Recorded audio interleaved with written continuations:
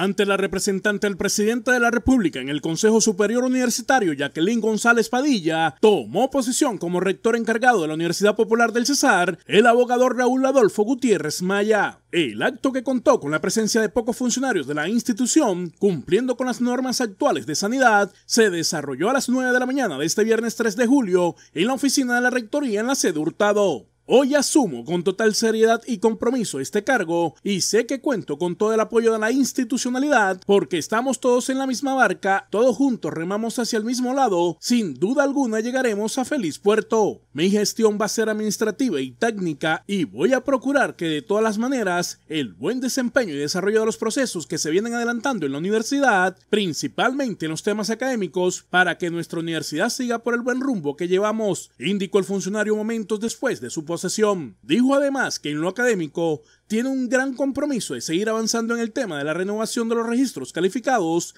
que están pendientes y por supuesto seguir trabajando en el tema de la acreditación institucional que se constituye en prioridad de esta administración como lo ha venido siendo. Anunció igualmente que esta misma tarde se reunió con la ministra de Educación y el gobernador del departamento para seguir aunando esfuerzos y ver de qué manera se logra el objetivo de la matrícula cero. Es de notar que el Consejo Superior Universitario designó al doctor Gutiérrez Maya en la mañana del pasado jueves 2 de julio en sesión ordinaria como rector encargado, luego de recibirse oficialmente la notificación de la suspensión provisional de la rectora saliente, Darlene Francisca Guevara Gómez. El nuevo rector encargado de la Universidad Popular del Cesar, quien se venía desempeñando en el cargo de secretario general de la institución, es abogado de la Universidad Santo Tomás de Bogotá, especialista en Derecho Administrativo y magíster en Derecho Público de la misma institución, con experiencia de años en el ejercicio del litigio y en el área de lo contencioso administrativo, abogado y asesor externo y docente universitario por siete años de la Universidad Santander UDES y Universidad Popular del Cesar.